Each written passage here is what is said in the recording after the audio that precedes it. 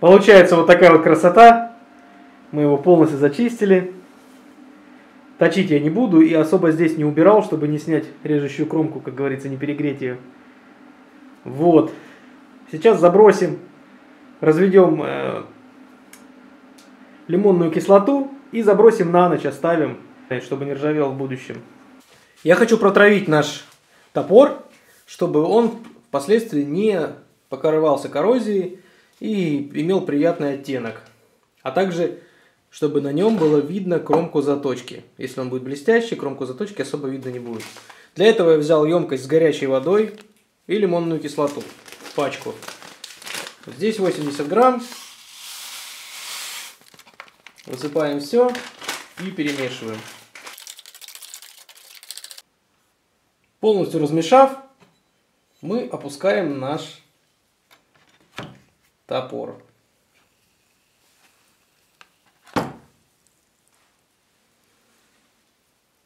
И как интересно, уже мы можем наблюдать процесс. Выедается ржавчина изнутри, я ее там не зачищал. Интересно и приятно. Оставляем так на ночь. Завтра приступим к обработке, к выведению кромки и непосредственно к изготовлению самой ручки. Итак, прошли сутки. Я уже перевернул один раз. И вот наш топор получился вот таким сереньким. Единственное, что то место, где он лежал, оно слегка не заворонилось. Но в любом случае сейчас мы будем отмывать это. Серость она немного уйдет. Я набрал чистой воды и отмываем.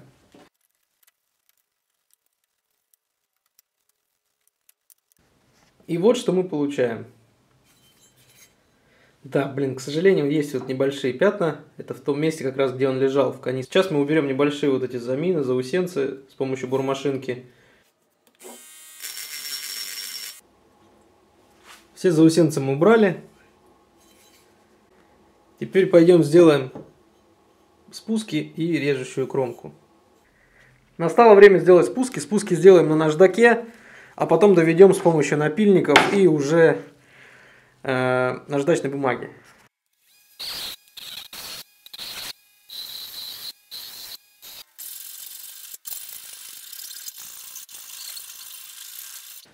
Ну и дальше доводим плоскость нашего лезвия, оно уже относительно острое, с помощью бруска и наждачки.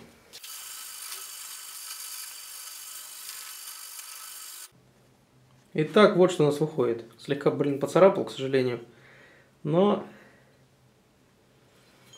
лезвие прям получилось сделать очень хорошо. Да, он волосы не режет с участью рабочего топора для поездок в лес вполне. Переходим к рукоятке, а именно к топорищу. Итак, для топорища у нас будет использован вот такая вот дубовый полежка. Это старый дуб. Я его привез из леса, он есть местами короеда. Но если места эти у нас вылезут все-таки на ручку, я это залью эпоксидной смолой. Но тем не менее, этот дуб очень плотный и сухой, самое главное. Да, я вроде как бы читал, что якобы из дуба не делают, но, к сожалению, кроме дуба, сосны и осины на данный момент у меня ничего нет. Рукоять у нас будет относительно прямая.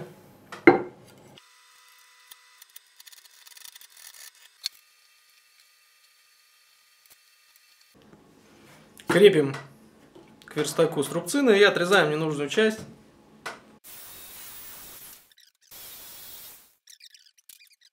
Крепим к тискам нашу заготовку и будем работать с, э, с ковелем. Придавать пока что промежуточный вариант формы.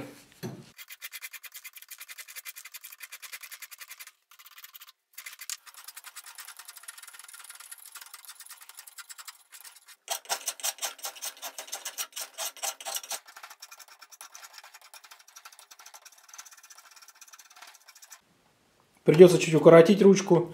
Отпилим вот здесь, потому что вот здесь оказался огромный вяз сучка. И просто вот выдрал клок. Нормально не получается обработать. Поэтому отпилим вот здесь, будет небольшой походный топорик. Ручка уже подходит к завершению. Сейчас проходим нашим найденным также на металлоломе рубанком. Я его пока не реставрировал, подправил лишь лезвие, вынул, разобрал нормально и подправил, подточил лезвие. Оно, в принципе, было заточено. Я не знаю, какой олух, простите за выражение, выбросил это на металлолом. Это, блин, прикольно. Ну, это даже не важно. И сейчас просто делаем плоскости по бокам, потому что с кобелем все равно ровно не получается, где-то задиры. А так я буквально совсем немного выставил лезвие и проходим. Оно снимает совсем небольшой э, по толщине стружку, но тем не менее удобно и интересно. Продолжаем. С помощью рашпиля доводим все срезы, неровные срезы до полукруглого состояния.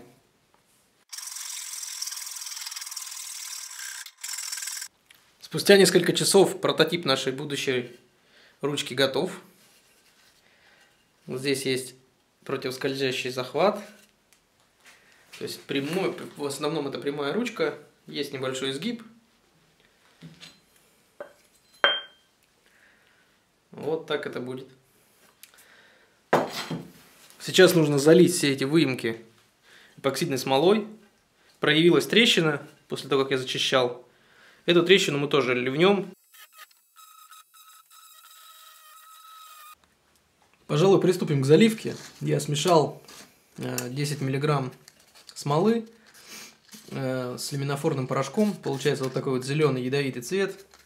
Сейчас все наши выемки, нашу трещину мы зальем. Попробуем все-таки залить все сразу. Я залью выемку и закрою ее металлическим скотчем. Он очень плотный, хорошо прилегает.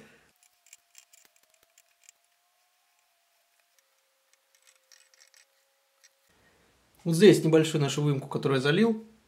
Сейчас закрыли скотчем и сейчас также здесь закроем с помощью скотча. Я надеюсь, что данный способ оправдает себя. Все крупные изъяны от краеда я заклеил. Надеюсь, что такой э, эффект, точнее такой способ пройдет и нормально застынет она. Но осталось залить вот эту вот трещину. Повторю, трещина была в дереве изначально, то есть я ее не видел до того момента, пока не дошел по обработке здесь. Видимо, из-за внутреннего напряжения, возможно, она треснула. Но дерево полностью сухое, поэтому... Ну, так как она уже изготовлена, не буду я же отказываться от нее. Тем более дубовая, прикольно, интересно. Поэтому я ее залью просто и все. Кстати, как я уже говорил, в роли цикли классно справляется обычная металлическая линейка. Вообще замечательно. У нее очень острый край. И шлифует она вообще замечательно. Вот это уже все с помощью нее сделал. У нас относительно получилось залить. Некоторые ретвины нормально залились. Здесь с небольшими огрехами. А вот главное у нас осталась пора пустой. И здесь осталось пустой с небольшим э, пузырьком получается. Ну а сейчас потрачу часик с помощью импровизированной цикли.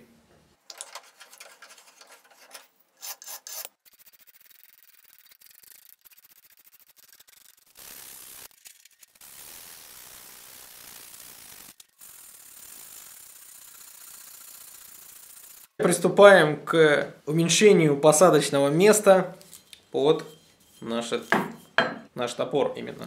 Я уже заранее отметил, оставил с небольшим запасом. По ширине здесь тоже уже отметки есть. Сейчас сделаем небольшие надпилы и будем аккуратно работать. Там у меня такая вот есть пилка с маленьким зубом. И аналогично вторую сторону. Вернемся, когда сделаем. Ну и делаем пропил вдоль тем самым уменьшая толщину, так как пропилы здесь у нас уже есть поперек.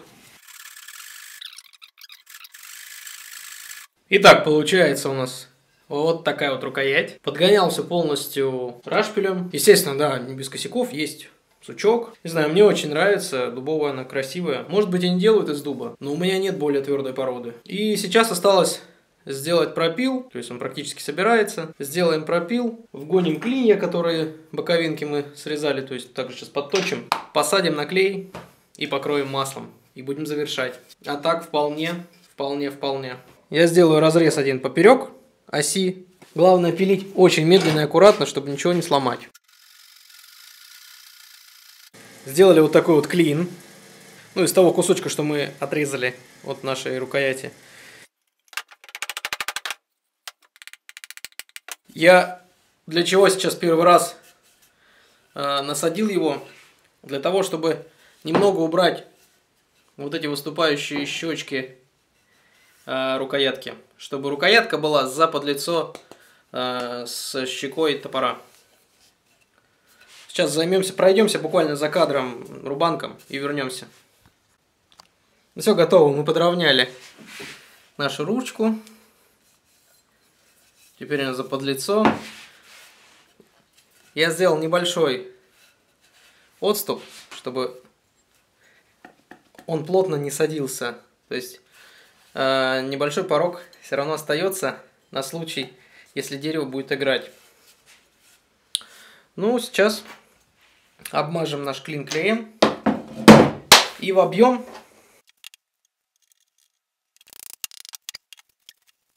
Я обрезал клин, зашлифовал слегка. Все готово. Сейчас будем покрывать маслом с воском.